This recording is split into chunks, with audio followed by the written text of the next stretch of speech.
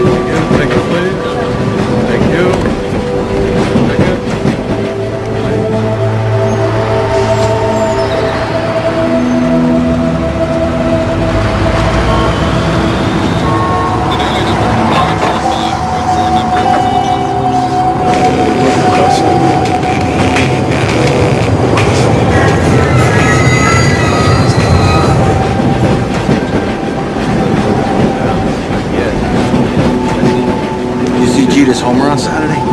Guy's got some swing, man. Yeah, I was there. Yeah? It was a good one to have been at. It was. part of the ongoing slump in corporate earnings. And now S&P futures are up two points, Dow futures up 28.